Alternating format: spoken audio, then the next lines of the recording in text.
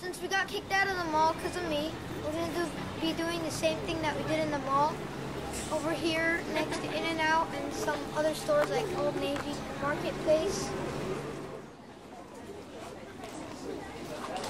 And at an